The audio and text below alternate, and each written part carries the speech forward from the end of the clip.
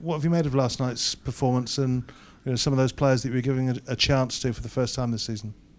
Yeah, p- performance-wise, yeah, I was I was bored. I say all the time, I never want to be bored when I watch us, and yeah, I was bored last night. Um, in terms of the game itself, yeah, it, it was an important game for us. We because we had Jayden his first minutes, having not done any pre-season. Obviously, Ollie Mack not done any pre-season, and Cam having trained but not played football. So it was really important game for us to get those boys some minutes. Obviously, Izzy's in the same position. He got uh, an injury early on in pre-season, um, so again missed all football. That's that's the first bit for him.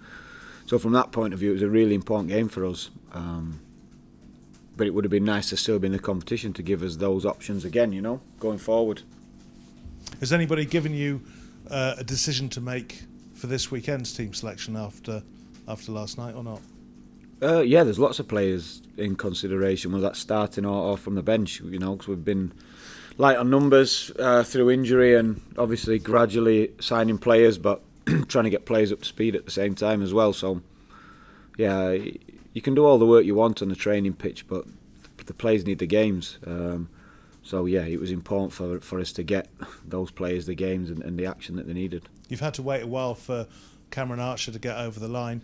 Uh, what did you make of his his performance and his uh, partnership with Ollie McBurnie?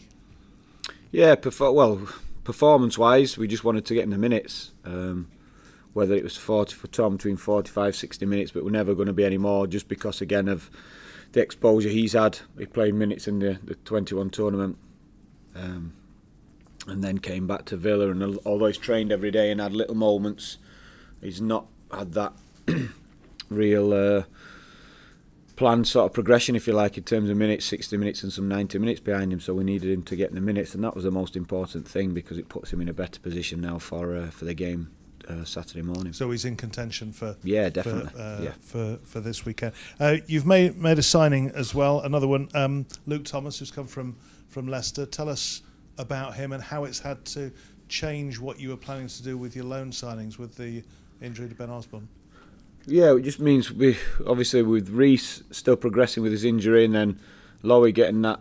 We were hoping Lowy could uh, get on through his injury. Free one stood on a sprinkler head in the pre-season game at Derby, so we knew he'd damaged his ankle ligaments. Um, we were we were wanting to get through it and carry on, but it was apparent once he was really trying to play at that top level and, and play football matches rather than training that it was hindering him so he's had to have surgery on that and then obviously Aussie with that injury uh, at the weekend which we presumed was a significant one. We just getting to the bottom of which route we're going to go down with that.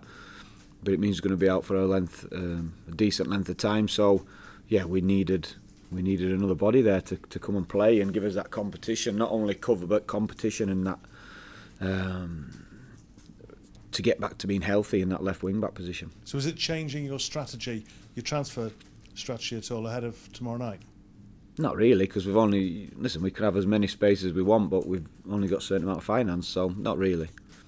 And in terms of tomorrow, you've got until midday for anybody to be able to play mm. on Saturday against Everton. Uh, how keen are you that anything is done before lunchtime yeah. tomorrow? I'd love it if, if that was the case, and then I could go home after training, get my feet up, and prepare for the Everton game. I'm hoping that's what our uh, our window looks like. Business is done early, um, yeah, and then can prepare like we would for a normal game. How close are you to making any any more signings then tomorrow?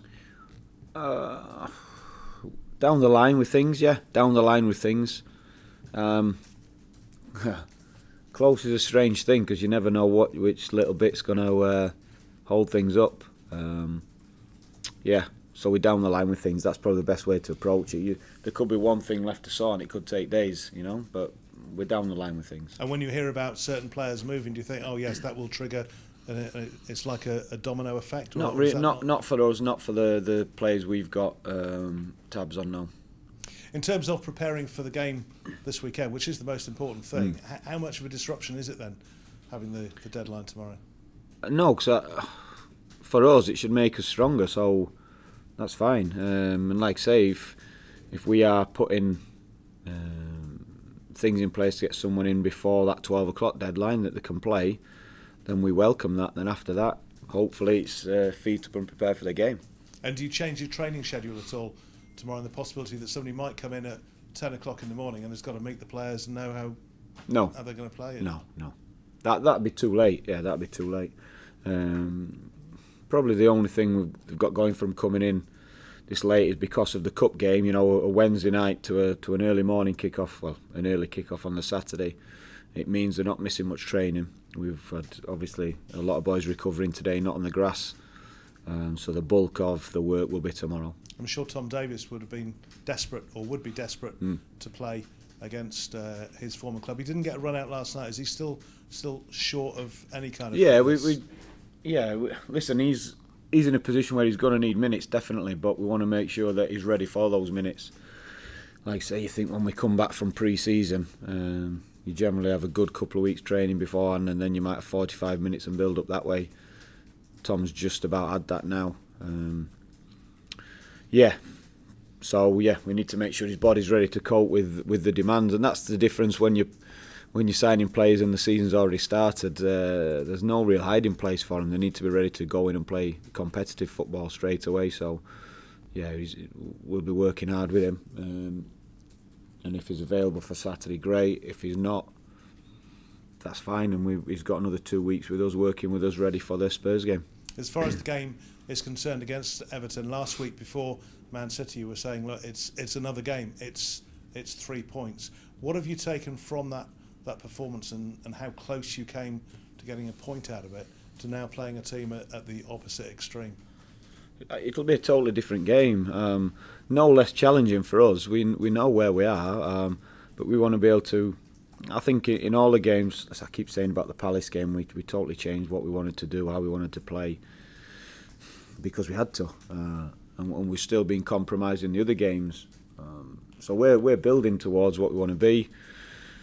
Um, yeah, so it's going to be no less challenging, just a different type of opposition. I've seen all of Everton's games, and I know Dyche wouldn't have been happy with the with the Villa performance and obviously the result, and, and he wouldn't have been impressed with the other two results. But performance-wise, they should have won the games. So we know we're playing against a team who's, yeah, not won a league game yet. Um, but that's not through want of trying, and they've certainly been imposing themselves on the game, and we know it's going to be a tough game. With regards to uh, supporters' expectations, can you understand them thinking that, well, if we get a win against Everton, that's a great way to kickstart the season, maybe even more so than a win or a point against um, Man City last week would have been? Oh yeah, win against anyone, a great way. We, I'd have loved to have won the first game. You know, like I said, we've diff- for different reasons we've ended up, like I said, being compromised and not being in the healthiest, strongest position we could have been at the start of the season. Um, the window closes tomorrow, so we know what we've got, and then we're down to work. Um, but I'd love to be picking up points in the meantime, without a doubt. So if we can manage to get three points against Everton, I'd be over the moon. I'd be delighted. So two signings maybe tomorrow, three points on Saturday. That would constitute a good end to the month, would That'd be a fantastic end to the month, yeah. And great start to the new month. Thank you very much. Cheers, Chris. Thanks. Thank you.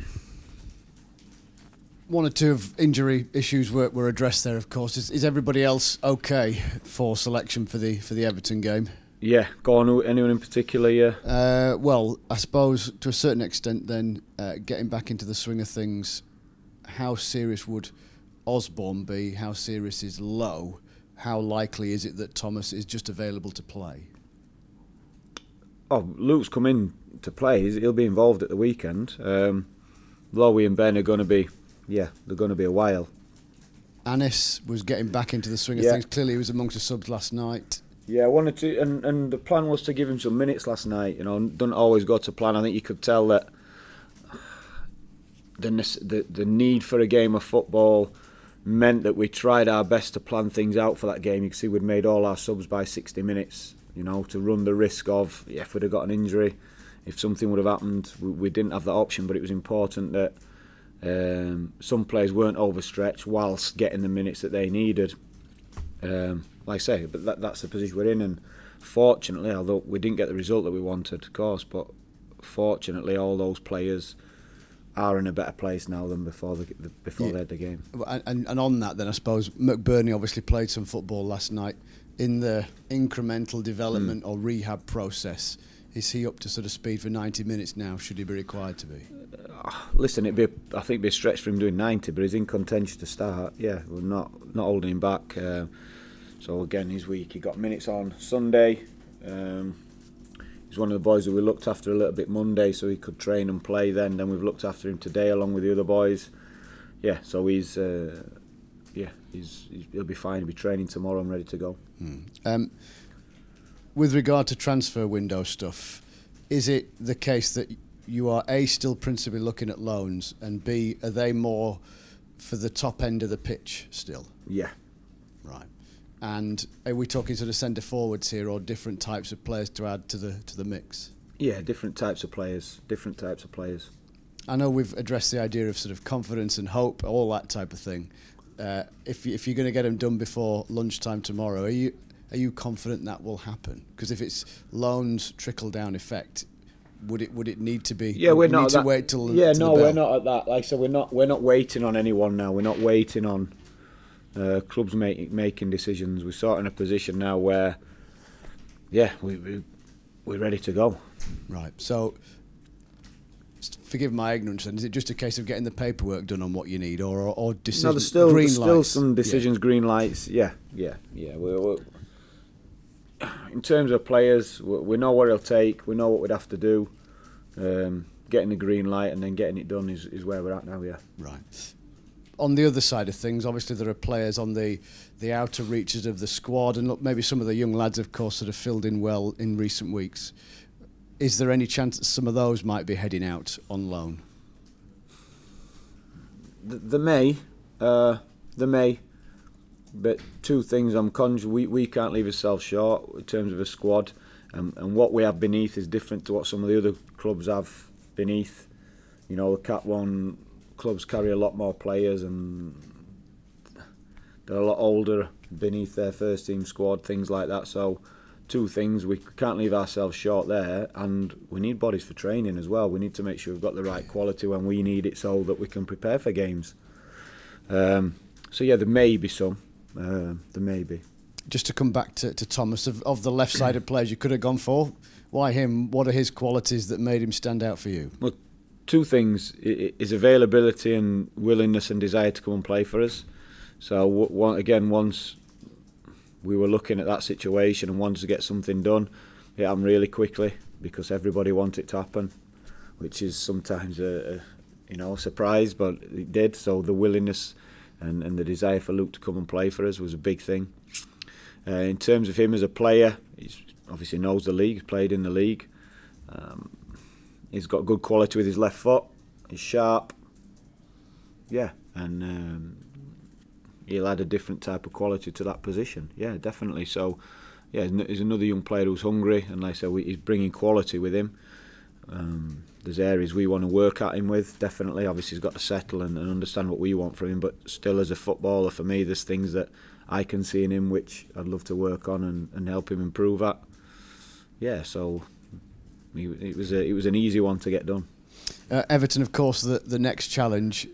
In these circumstances, with the points tallies as they are, who's kind of under more pressure to get the victory? Because Everton's problems, I suppose, are well documented, whereas Sheffield United are just hoping to get going. Uh, yeah, I honestly don't see it that way. Just we want to win, whoever it was. We were going to try and win the game. What's happening in other clubs is, is irrelevant. I think uh, Everton's status as a club and the fact that they're the story at the minute, I think it overshadows, like I said, particularly those two games I've seen where they should have won the games and it would have been a totally different story. Um, so we our job's a little bit different. It's, it's it's not about a story. It's not about uh, a narrative. It's about what's in front of you. How do you win it? And for us, looking at Everton and, and what we see, we know it's going to be a tough game. Um, but it's one that we want to win, and we're going to approach to try and win. And and give us an idea as to how Sean, because we, we, we got to know week in week out almost forensically how Sean Dyche's Burnley played. So Sean Dyche's Everton, how, how do they go about their their their way? Yeah, lots of similarities and the, the demands that, that he puts on the players. Uh, it's going to be interesting now with the new signing um, signings, but certainly one I think will play. Um, and, and with one or two injuries, how that shifted the, the dynamic of the squad. My my opinion, what we've seen of them, and, and the way I think he'd go, I quite like. I don't think it's weakened them. You know, I, I think they'll be uh, still have threats in in those forward areas, uh, maybe more so than what they've had in in recent weeks. So, yeah, it's going to be an interesting game. We know they're going to be a challenge. We know the work rate's going to be first class. We know how organised they're going to be and how they're going to set up. Um, I think the, the, the little bit of unknown is, like I say, through the, the new players. Yeah, and I, I, I am making light of a situation. No doubt they wouldn't want the problems, but it's not a bad problem when you've got those issues and you spend thirty million pounds on a new centre forward. Different Yeah. world. It is a different world, but it's one we're not in. So, that's it, it doesn't. I'm not going to get drawn into any of them stories. We know we know what our uh, position is compared to others, and we we're not we're not in that place because we're not an established Premier League club like they have been. You know, they're one of the only few to be always be in the Premier League, so they have got the resources. I think so why would we worry about that? They they've been shopping in a different market to us. It's no problem. Good luck to them. Um, but like I say, it doesn't change our expectation and, and, and what our aim is and our goal is, which is to try and win as many games as possible. And they're the next team. So regardless uh, what they've spent, regardless what situation they find themselves in, we're just looking at them as a team and, and how they set up, how they play, what are the strengths, what are the weaknesses, and, and how do we try and combat that and get the three points. And and just finally, then, in each sort of match day that Sheffield United have had, there's been improvements in, in different ways, I suppose, and each game has provided different challenges. For this one, then, what do you want to see improve from the team you put out? What from the previous games? Yeah. yeah. I just want to win. I want to win. I'm not. I'm not going to sit and talk about it. You know, I won't. There's, there'll be bits that, that I do want to share sometimes, in terms of what what we've been working on, what we want to do. Well, I won't. Uh, so what do I want to say? I want us to win. Um, challenges to to certain players and units and, and how we want to improve. Definitely get close to where we want to play. And then for me, the biggest thing is uh, what do we close the window with, and then that'll determine. Right, this is what we've got. This is how we're going to play to try and get the wins. Um, and this is our little change that we do in game to try and get the wins. But until we know what we're left with, I, I, I couldn't even sit here now and tell you. You know, we'll know what we're trying to recruit. In my head, I'd okay if this is the best we can get out of. This is what we're going to look like. Right, this is what we'll do. But as it stands at the minute, we're not there yet. Don't know. Thank you. Ta.